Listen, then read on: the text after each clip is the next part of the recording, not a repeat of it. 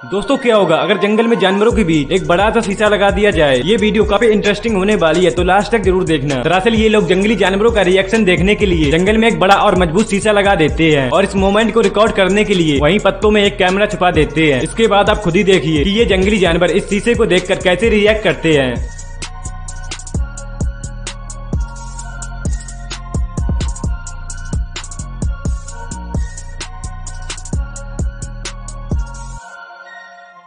दोस्तों यूँ तो बंदर बड़े चालाक और शरारती होते हैं। लेकिन देखिए क्या हुआ जब एक बंदर के सामने एक नकली शेर बच्चों को डरा दिया गया। हमें शेर को डरा के देखिए दोस्तों जब इस नकली शेर को एक कुत्ते के पास रखा गया तो क्या हुआ? ऐसी क्या चीज़ है जो बच्चों को डरा रही है? हमें शेर को डरा देख लियो